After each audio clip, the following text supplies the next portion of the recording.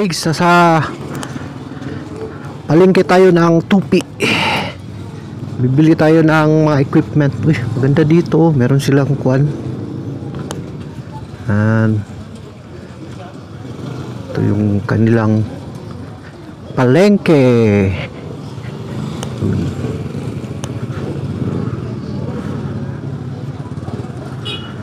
So, bibili sila ng meron silang bibilhin.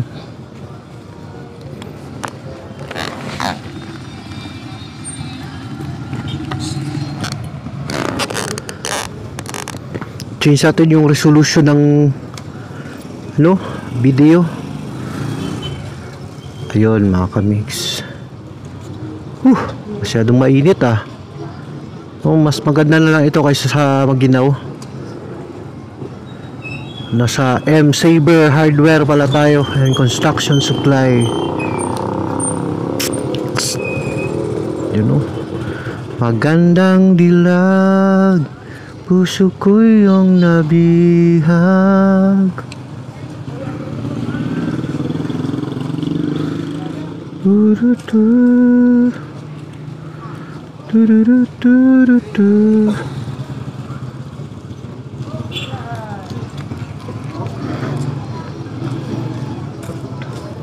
Si Bossing Michael Lopez Dalanan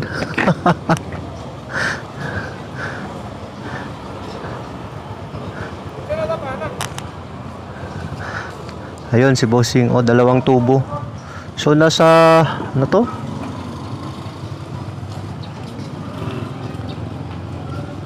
Nasa 50 feet. Nasa 50 feet yung dalawang tubo. So paano yun?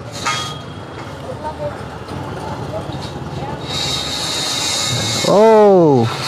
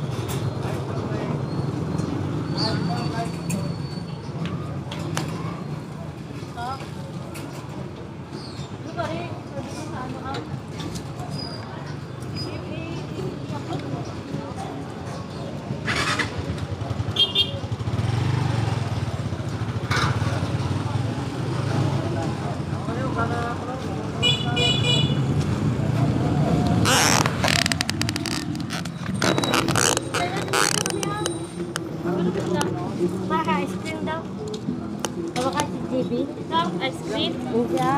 Naman? Wala nagdugo. Dugo lagi. Ah, dire sa kwan, ulo.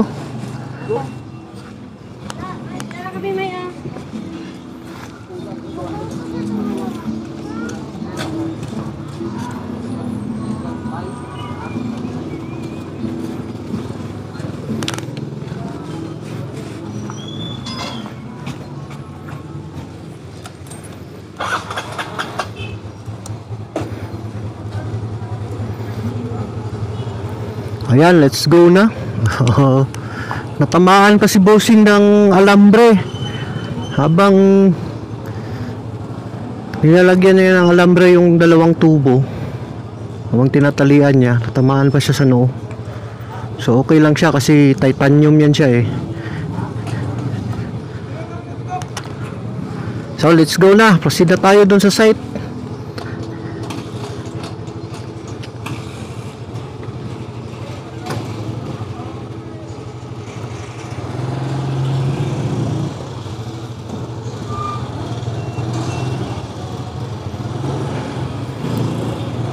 Dadaan tayo ng one way. One way, Jesus, oh.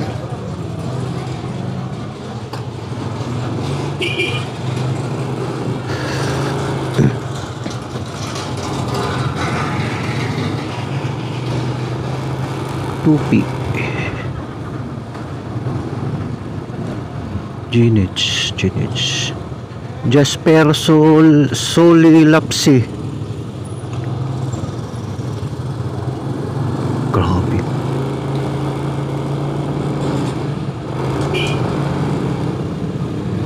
Soli Lapsi. Yeah. So dito tayo papunta tayo ng tap. So, papunta tayo na ang Tampakan.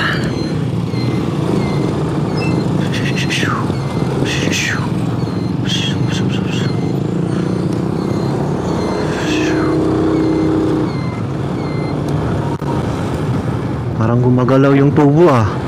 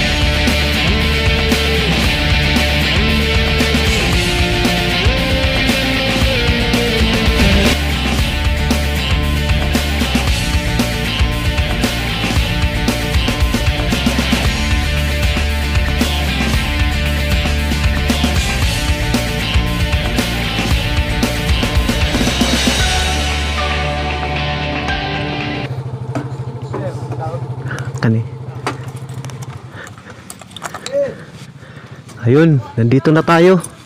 Ayun, parabolic nga oh. So yan.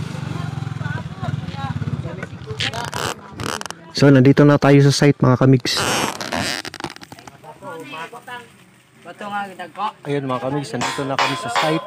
So ginagawa niya ni bossing ang para sa tower. Tingnan natin.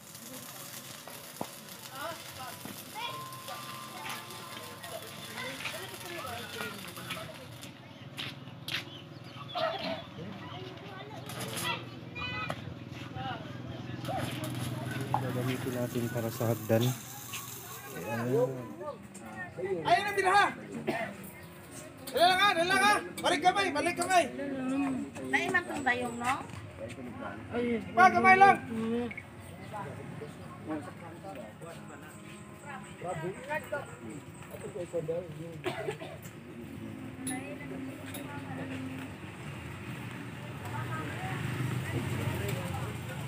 Kung na ako ng taon, nga kay wala pa naabot na ako naman,